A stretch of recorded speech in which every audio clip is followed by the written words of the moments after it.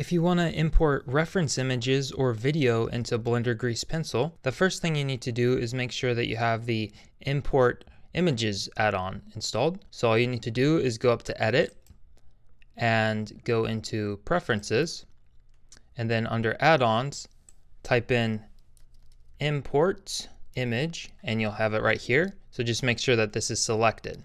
Next, you need to go up to here where it says draw mode and select object mode. And then go over to add and then scroll down to image and you'll have images as planes. And then from here, you can go into whatever folder has your video or images that you want to import. And so you just select it, click import image as planes. And now it is successfully into your project file. Now see over here, you'll see that my resolution is 4K. So I just need to click S and scale this up. And then I can easily scale this up to the correct size. And now when I play it, the file plays. Now if I'm playing this as a loop, you'll see that it's stopping because I actually have more frames down on my timeline than I have frames in the video. So I'll find the ending frame is 11, so I'll just go over to my end frame and click 11, and now it'll play the correct amount of frames seamlessly.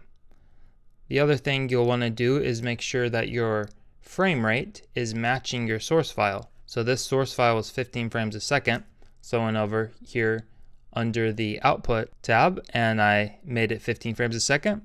And then of course you can adjust the resolution.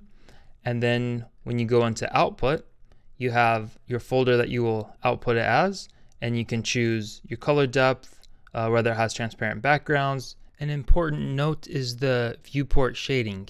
If you're up here in solid mode, you won't see your reference footage. So you want to go over to the right and click on this one, the rendered shading, and now you'll see the reference footage in the background. Also, go over to your footage under where you imported it, and you'll obviously have to make sure that the eyeball is turned on or else you won't see it either.